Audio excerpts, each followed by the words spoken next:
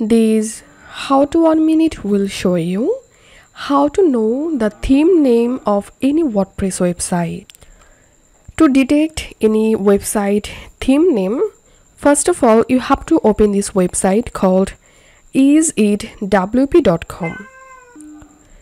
Once you are in this website, enter here the website URL or link. So I'm going to copying the website URL and pasting it here. And now click on analyze website. And here you will get the theme used this uh, website. Now you can download this theme from here. You can um, you can read more details so that's how we can detect any website theme if you find this video helpful don't forget to subscribe. How to minute see you in the next video